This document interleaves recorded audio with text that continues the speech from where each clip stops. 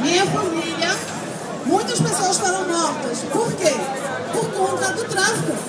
Quem entra pro tráfico, cara, um sertanejo que não tem opção de vida, não tem opção porque o Estado não está presente para favorecer a agricultura, aí o cara entra pro tráfico e só se fode. Por quê?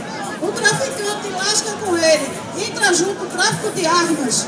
Tráfico de armas Alguém disse, eu concordo, tráfico de armas é que não permite, é um, um dos atores que não permite a liberação do uso da maconha nesse país e do plantio.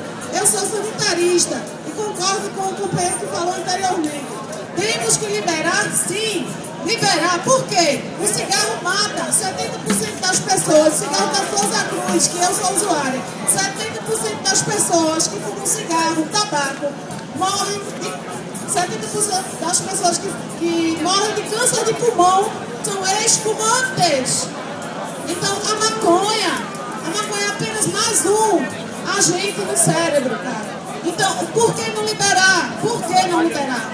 Libera, libera, a tratar quem se excede e descriminalizar e acabar com o tráfico de armas e trazer a paz, a paz. Aqui rapidamente Pra maconheiro é 5, pra careta é 10. Tem camisa de regra aqui por 20. Maconheiro paga 20 e careta paga 30. Isso aí. Fez aí a sua propaganda, tá vendendo CD também. Tem o companheiro Igor, que vai vir aqui dar a sua palavra. É que ajudou a gente aqui com o carro de som. Manda tua letra aí. É isso aí, galera. Primeiramente, queria dar um salve pro maconheiro presente. É isso aí. Esse debate incomoda porque todo argumento que sustenta a proibição do Brasil, nós conseguimos derrubá-lo.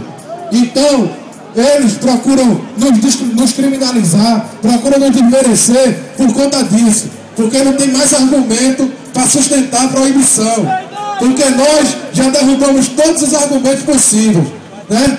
E eu queria também fazer um pedido para que os maconheiros saiam do armário, velho. Que os maconheiros saiam do armário. Fuma maconha.